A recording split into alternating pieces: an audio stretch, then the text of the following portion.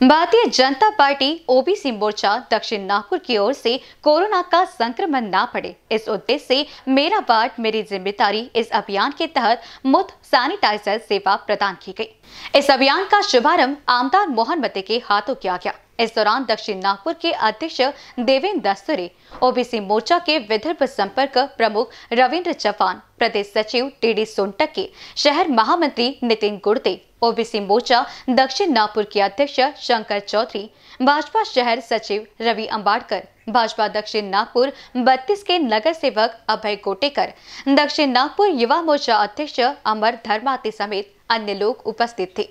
मुळात असं आहे की भारतीय जनता पार्टी दक्षिण नागपूरच्या वतीनं कोरोनाची सुरुवात झाली त्यावेळेसपासून वेगवेगळे सेवाभावाचे कार्यक्रम खऱ्या अर्थानं दक्षिण नागपुरात राबवले गेले.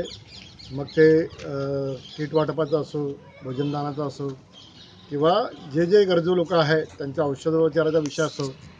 आम्ही आत्ता नुकतंच एक महिन्यापूर्वी जैन कलार समाजमध्ये एक कोविड आयसोलेशन सेंटर आम्ही उभं केलं.